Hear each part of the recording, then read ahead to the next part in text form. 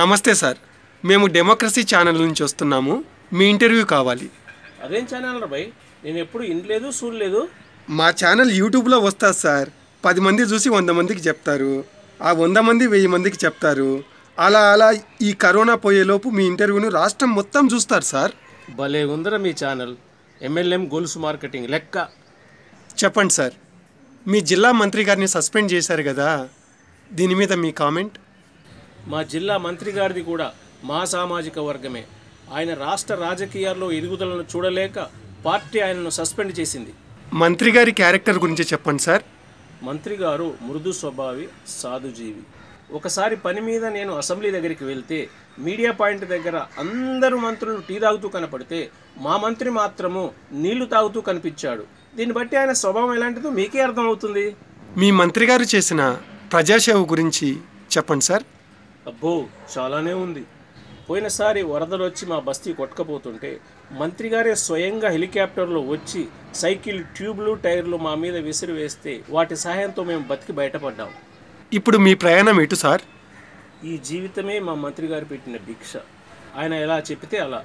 పురుగుల మందు తాగమంటే తాగుతాం హుస్సేన్ సాగర్లో దూకమంటే దూకుతాం.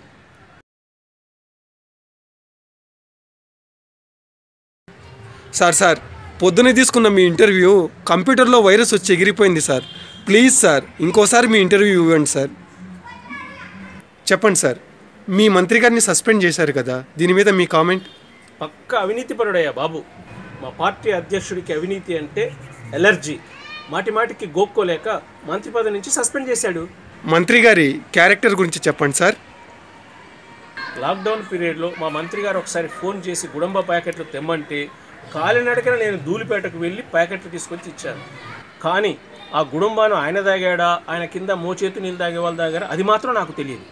మంత్రి గారు చేసిన ప్రజాసేవ ఏమైనా ఉందా సార్? ఉట్టి పిసిని కొట్టు. పిల్లులకు కూడా భిక్షం పెట్టిన దాఖలాలు లేవు. అమెరికాలో ఉన్న నా మనవడు నాకు ఐఫోన్ గిఫ్ట్గా పంపిస్తే మా మంత్రి గారు చూసిస్తానని తీసుకొని ఇంతవరకు ఇవ్వలేదు. చెప్పండి సార్. ఇప్పుడు మీ ప్రయాణం ఎటు? ఈ వార్డు మెంబర్ జీవితం పార్టీ భిక్ష.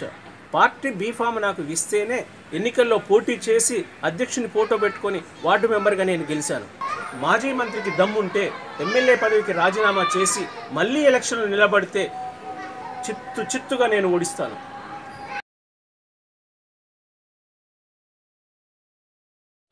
ఈ వీడియో కనుక మీకు నచ్చినట్లయితే లైక్ చేయండి. మరిన్ని వీడియోల కోసం మా ఛానల్ని ఇప్పుడే సబ్స్క్రైబ్ చేసుకోండి. అలాగే నోటిఫికేషన్ల కోసం బెల్ సింబల్ పైన క్లిక్ చేయండి.